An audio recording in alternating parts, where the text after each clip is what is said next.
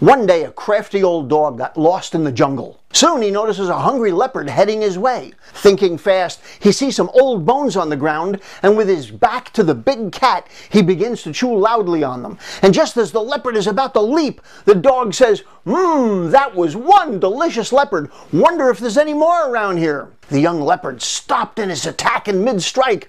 Terrified, he slinks away, saying, Whew, close call, that big dog nearly got me up in a tree, a monkey saw all this and thinks he can trade this info for protection from the leopard.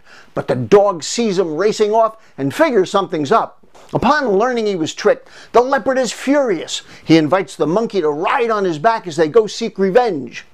Sitting with his back to the attackers, pretending he doesn't know they're coming, the dog says loudly, Where's that darn monkey? I sent him off a while ago to bring me back another leopard. Learn to think strategically.